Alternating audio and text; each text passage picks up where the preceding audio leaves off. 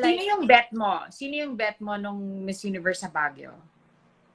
Wala talaga akong ano. Actually, um, nung sinabi sa akin na magja-judge ako, hindi talaga ako nag-check na ng mga social media, ng Mm. kung sino yung mga kasaling girls. So parang parang gusto ko silang makita lahat na fresh sa akin. Yung pantay-pantay, yung hindi ko Yeah. kilala, dahil Mm-mm. hindi ko isipin na ito yung malakas sa I mean, something like that. Kasi I know how it feels eh. Yung parang, um, alam ko kasi yung ibang girls, baka mawala ng confidence kasi alam nila, ito sobrang lakas itong girl na to. Yung parang ganun. Kasi yun yung sinimulan ko eh. Yung parang ganun. So, parang ako as a judge, ayokong mabigyan ng bias yung judgment ko. Kaya, dun ko lang talaga sila, dun ko lang talaga sila, um, as in, dun ko lang talaga sila iniisa-isa during the prelims kung sino yung girl na, na lumabas, na for O, sino yung malakas ang dating out. sa'yo nung prelims? Sino yung malakas ang dating sa'yo nung prelims? Alam mo, sabihin ko talaga,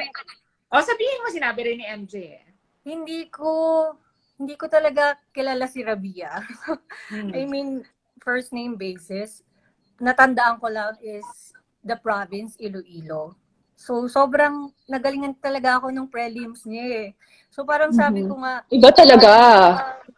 sabi ko She nga, came out of nowhere and slayed the stage. Diba? like siguro yung That's mga true. judges when they do Miss Universe pageant, di ka naman nila kilala personally, right? So, Oo. talagang kapag may impact ka na to them, like 10 seconds, binigyan mo na impact yung judge, parang Yes. hanap-hanapin mo siya. Tapos, so I think ayun yung binigay sa akin ni Revia the first time I saw her performing sa Mhm. stage. But of course, I would say, I commend also yung mga, alam naman natin yung mga crowd favorite.